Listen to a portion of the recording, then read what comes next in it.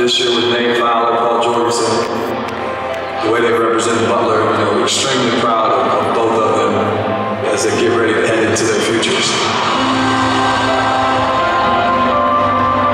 Commitment is a big word that comes to mind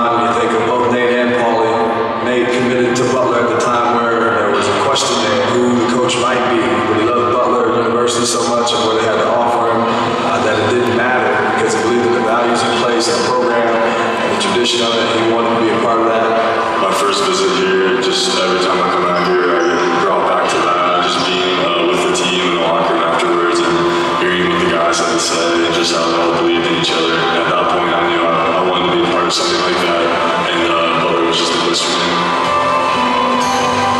I think of Nate, it is just a great teammate. You know, a guy that comes in every day to do his job and helps others.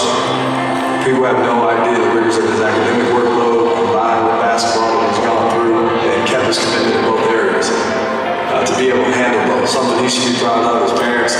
you know, should be extremely proud of for instilling that value in him uh, to finish what he starts. when I transferred, I looked around and at Butler, everyone was saying it was different before I got here, and I kind of didn't believe it. I was like, all right, I'm at the school, let's see what it's about. But I came in on my visit and uh, I sat next to Nate. I just got the sense from him that he wanted to be here and that he'd be a great fit at Butler, and he obviously has been.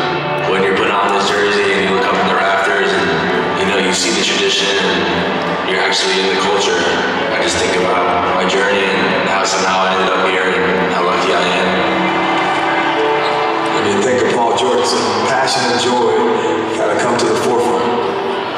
Jorgensen for another He's this unbelievably passionate player that looks like he's having a great time out there with his teammates, uh, that loves playing in this venue. He loves what he's doing, uh, and you can tell. when I make a victory or when I make a good play for our team, I try to live in that moment and, and be excited and, and be happy about it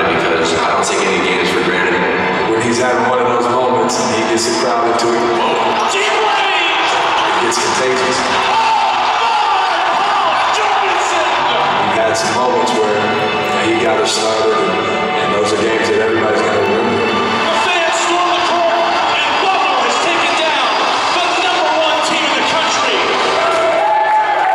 all the moments that happen in this building that I've been a part of here come back to me. You're only doing this for four years of your life, and a lot of it is just getting you ready for the next stage and just really making you realize that it's not just about basketball, but while you're here, we're going to win a few games and we're going to do some special things.